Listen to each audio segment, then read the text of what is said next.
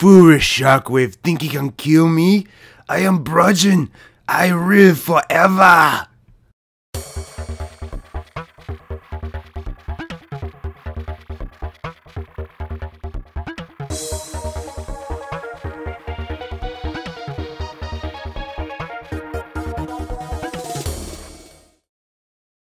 Hello, my faithful nerdettes and neckbeards, and welcome to Pi Crumbs Studios at youtube.com slash piecrumbs. I'm James, better known as Spider with a pi, and today we're looking at Bludgeon. He's a Voyager class from Revenge of the Fallen.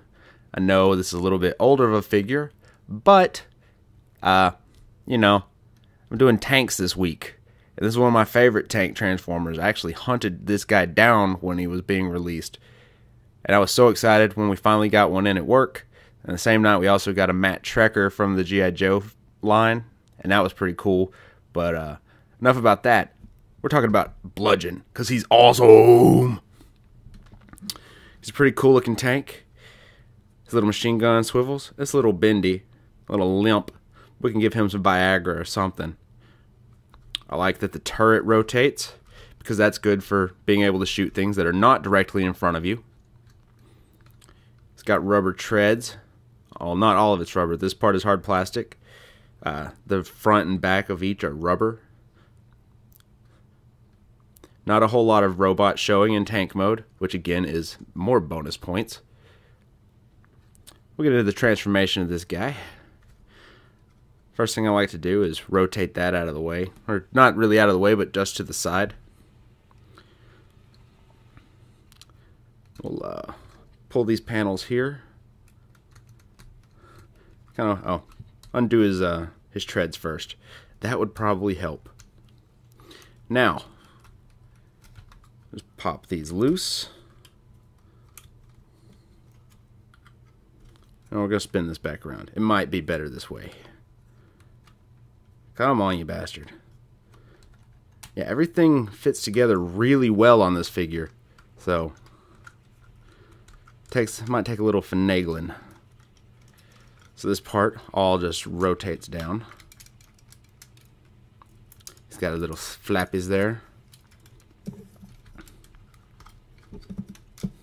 Lifts this part up, just give you a little bit of clearance. Now we're going to turn the turret to the side. Yeah, we are. Pull up the butt flap. These uh, fold down to the back there. They'll become kind of uh, armor plating in his robot mode. You can flip these down. Just adds a little bit of flare to the back of what will be his leg. And gives him a little bit more range of motion in the knee. Click those together. Uh, which way? This way. Pop his foots out.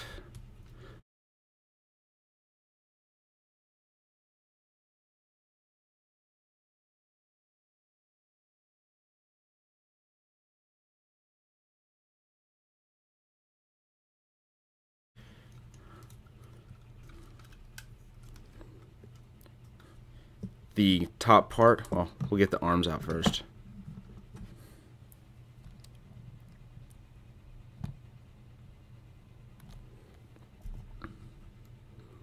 These just pull down to the side like that.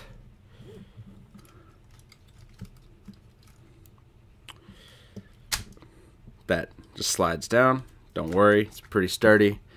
It's actually kind of hard to get that to lock into place. Get in there. There we go. It has a little bit of automorph here when you pull this down. Uh, his swords can go into these locations. I know, you know, where's his swords? I don't see any swords. We'll get to that.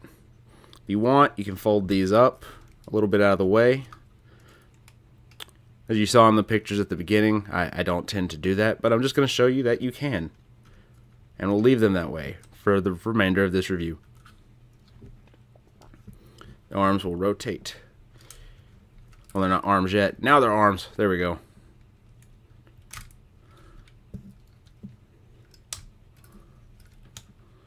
And do the same on the other side. Flip his hands out. Now I filed these pegs down a little bit. Go ahead and get this out of the way. You have this little tab right here on the back of his hand. I filed them ever so slightly because I wanted him to be able to do a Hadouken, and it also allowed him to uh, do a better job of holding his main sword with both hands. Flip those down.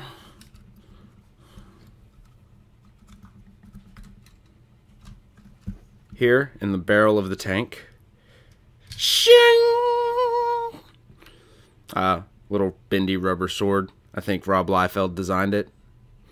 That can go in here. If there's not a turret in the way. There we go. And this is really cool. The uh, turret of the top opens up. And that pops up. Look at that. Another sword. His Tonto. Not to be confused with Johnny Depp's character in the new Lone Ranger movie, which I heard is bad. And they don't even credit Armie Hammer in the new trailers for it, and that pisses me off. I mean, he's the star character. Don't fucking only credit Johnny Depp. Anyways, that goes there. And he can hold both of them in his hands.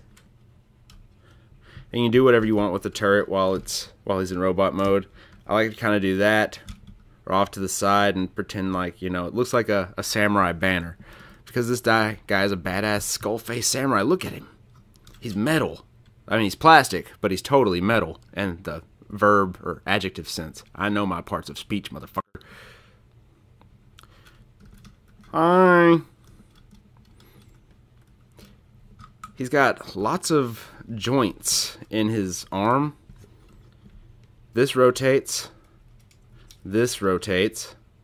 He's got an elbow hinge. He's actually got double jointed elbows. You see right here. Because of the transformation, collapsing the arms down. The hands don't really do anything. They can do like that. Like, oh, stop it. Behave.